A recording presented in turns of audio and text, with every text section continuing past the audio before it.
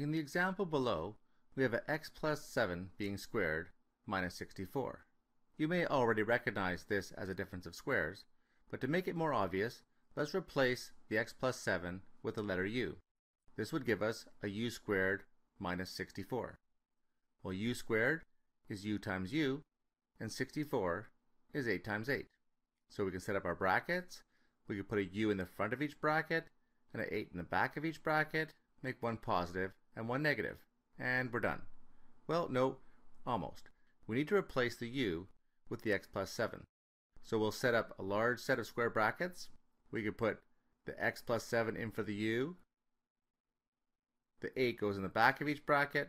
One is positive and one is negative. We now need to simplify within each square bracket.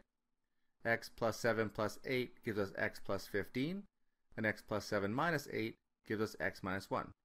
We have factored this difference of squares